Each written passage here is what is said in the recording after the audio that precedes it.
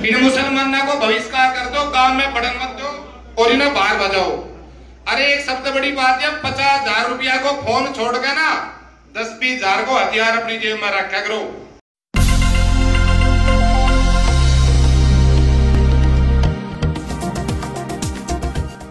नमस्कार, मैं मोहम्मद फैसल और आप देख रहे हैं जनहित आवाज़। आज मैं आपके लिए वो सारी बड़ी खबरें लाया हूँ जो सोशल मीडिया पर वायरल हो रही है और गोदी मीडिया ने जिनको छिपा दिया है। जी हाँ खासकर दलितों, पिछड़ों, आदिवासी और मुसलमानों के लिए ये खबरें बहुत ज़रूरी है। इन खबरों को मीडिया में जगह नहीं मिलती है, जबकि वो लोग लगातार मुसलमानों के और आदिवासी दलितों के खिलाफ प्रोपोगेंडा फैलाते हैं। ये देखिए, सबसे पहली खबर है हरियाणा की।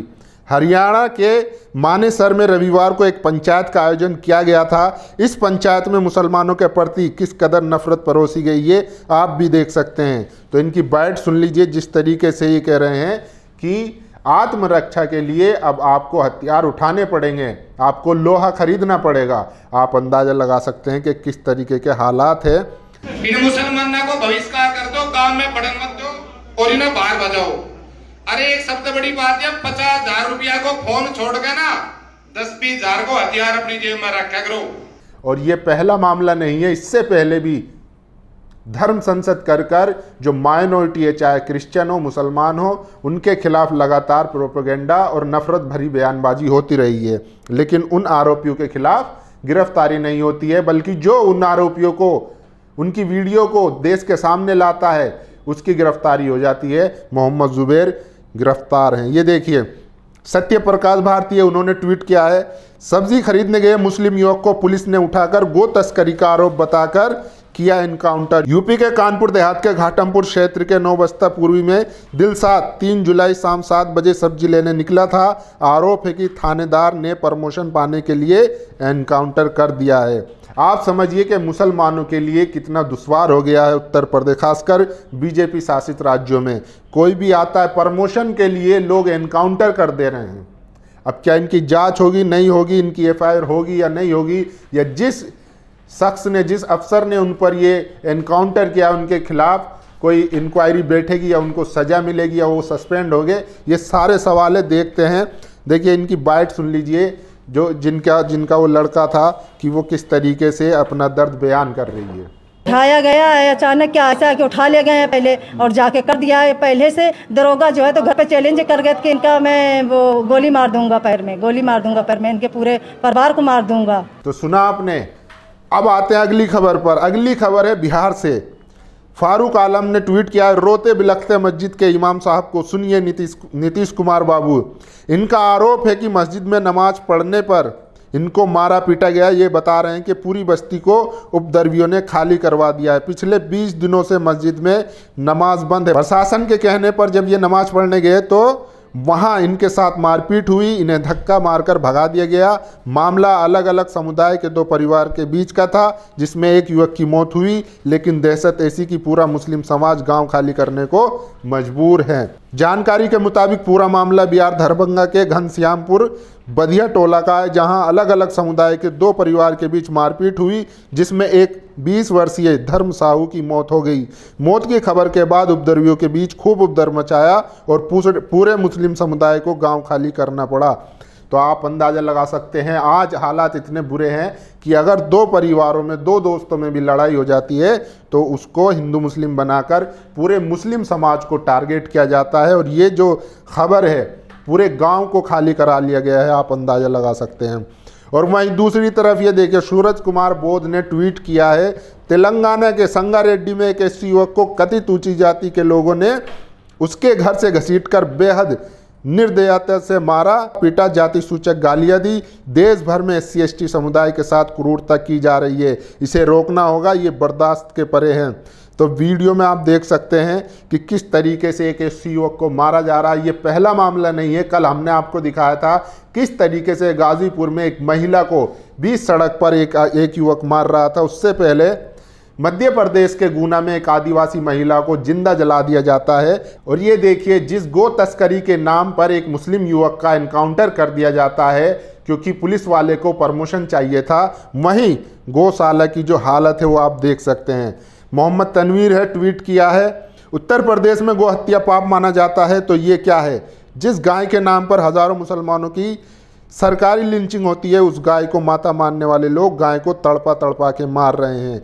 ये गौशाला का वीडियो है, जहाँ पर हालात इतने बुरे हैं कि वो बीमार हैं, लेकिन उनकी देखभाल के लिए कोई नहीं है, जबकि गौशाला के नाम पर बजट भी पेश किया जाता है और तमाम तरीके से उनको अलॉट किया जाता है, लेकिन वो वो पैसा कहाँ जाता है, कौन खाता है, उसका कोई अता पता नहीं है, और गौशाला की जो हालत है, वो आप देख सकते हैं इसमें, तस्वीर में।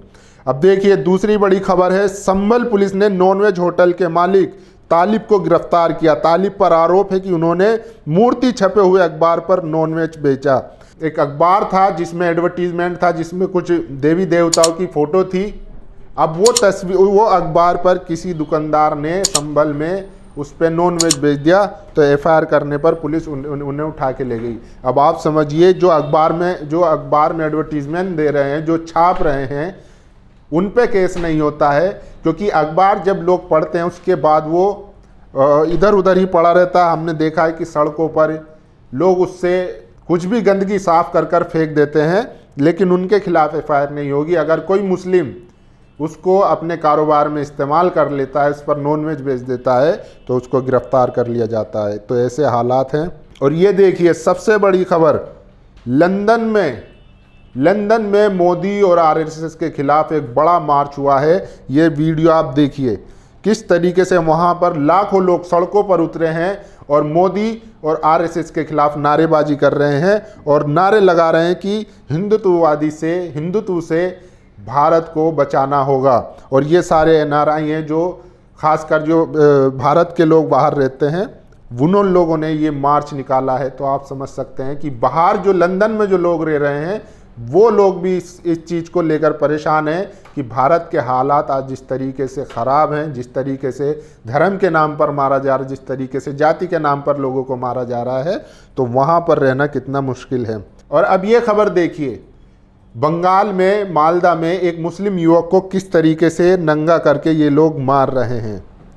तो आप समझिए कि किस तरीके के हालात है। लिंचिंग अभी भी लगातार रुकने का नाम नहीं ले रही है। वहीं कल, लिंचिंग से याद आया, कल तेलंगाना में नरेंद्र मोदी की एक रैली थी। उस रैली में, उस जनसभा में एक आदमी की लिंचिंग होती है। वो बच जाता है, लेकिन जो उनके समर्थक थे, वो उसी जनसभा में, उसी रैली में उस पर टूट पड़ते हैं।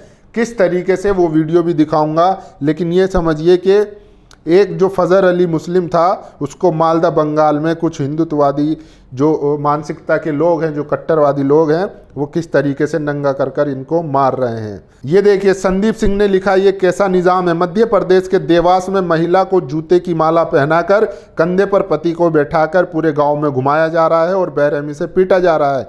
वीडियो वायरल होने पर पुलिस ने 11 लोगों पर मामला दर्ज किया है। इससे पहले भी मध्य प्रदेश को शर्मशार करने वाली ऐसी तस्वीरें आ चुकी है। गुना की तस्वीर आपको याद होगी, जहाँ पर एक आदिवासी महिला को ज़िंदा जलाने की कोशिश की जाती है, लेकिन वो बदकिस्मती से बच जाती है। और ये देखिए, ये तस्वीर में किस तरीके से एक महिला को मार रहे हैं और उसको प्रताड़ित कर रहे हैं।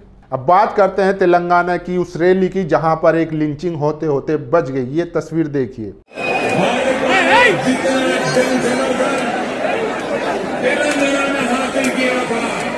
तो देखा आपने, ये कल नरेंद्र मोदी की रैली की तस्वीर है जहाँ पर उनके समर्थक एक शख्स पर टूट पड़ते हैं और उसको किस तरीके से मार रहे हैं आप अंदाज़ा लगा सकते हैं।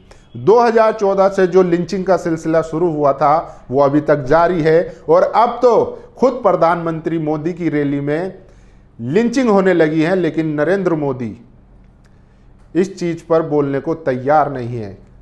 तो आप अंदाज़ा लगा सकते हैं कि किसके इशारे पर और किस लिए किसको फ़ायदा पहुँचाने के लिए ये सारी चीज़ें हो रही हैं। इन सारी खबरों पर आपकी क्या राय है, आप अपनी राय ज़रूर दीजिए। शुक्रिया।